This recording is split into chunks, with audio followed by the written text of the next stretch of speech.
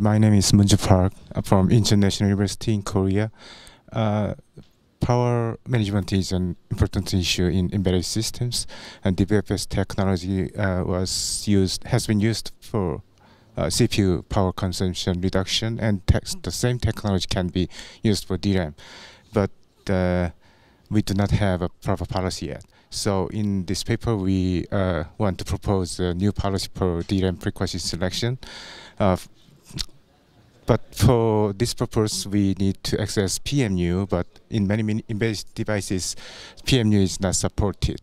The target device we have uh, is one of the such devices that do not allow the access to the PMU. So we do not know how many times the memory is accessed. So we've tested several benchmarks with uh, uh, different size of memory usage. This information can be obtained from the operating system level information because operating system management manages the virtual memory.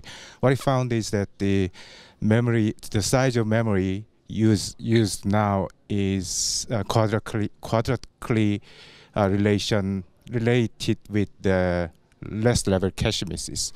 Uh, so we uh, try to find the uh, optimal uh, frequency selection for the DRAM for each memory usage.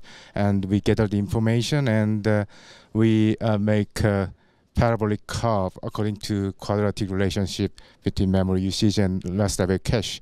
And by regression analysis, we get the frequency curve for uh, DRAM frequency selection.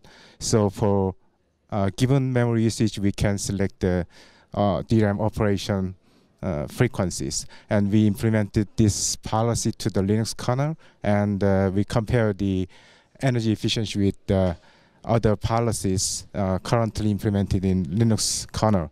And uh, the result shows that our proposed method uh, achieves about 18% uh, enhancement in energy efficiency. Yeah.